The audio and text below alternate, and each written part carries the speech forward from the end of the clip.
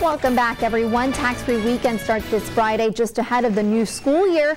It's coming a week earlier this year. The three-day event gives parents a break when buying school supplies and clothing. And for others not shopping for children, it's a shop till you drop event, much like Black Friday. And a hot spot for bargain shoppers will be the mall. And this morning we have Isabel Rodriguez, who's the Director of Marketing and Business Development for La Plaza Mall and Valle Vista Mall. She's here to showcase the deals you can expect this weekend. Thanks so much for being here with Thank us this morning. And it's very exciting because lots of parents love to take their kids. The mall is kind of like their mothership when it comes to any sort of back to school shopping, but tax free is especially busy. Tell us what you're expecting this weekend. Well, we're expecting a lot of families to come out and take advantage of tax free shopping. And we're also going to celebrate uh, with a back at it event uh, mm -hmm. on Friday at La Plaza Mall and on Saturday at Valle Vista Mall. It's in association with Teen Vogue, and it's especially for teens to celebrate going back to school, so hopefully the public can join us.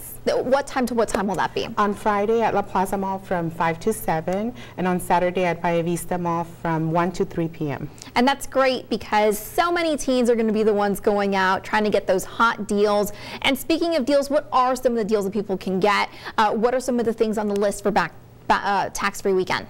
Well, definitely a lot of the stores are going to be offering special incentives because there's so much mm -hmm.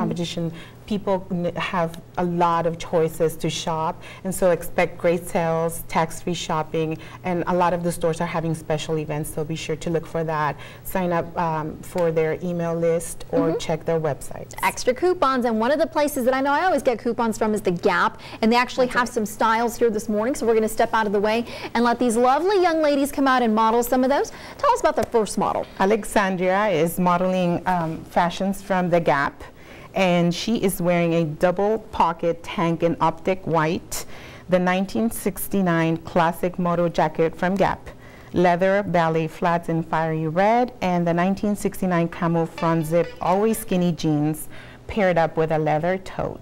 I love this look because um, the blue jean jackets are so in and so is the camo print in addition to the skinny jean with the, the little pockets, the zippers. Yeah, the zippered pockets on the jeans are a special touch.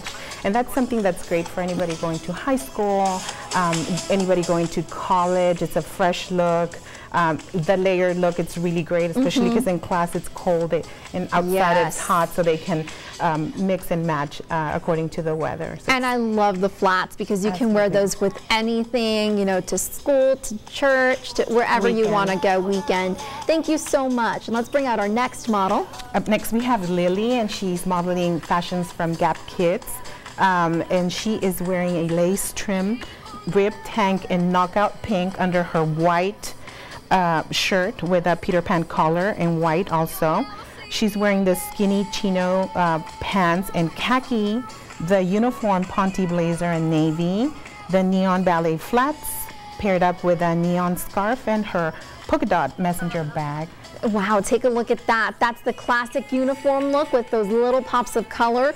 And you said that the accessories are what are helping the kids out in that department. Absolutely. Just because you have to wear uniform doesn't mean that you can't make it your own and you can't go wrong with a pop of color and the flats and the scarf and definitely the backpack. You can choose to go with something like this or I know that Gap also carries uh, the glittery backpacks as well. Great. Well, thanks so much, Isabel, for being here this morning. Again, that's La Plaza Mall and Valle Vista Mall in McAllen and Harlingen. We'll be back in just a moment.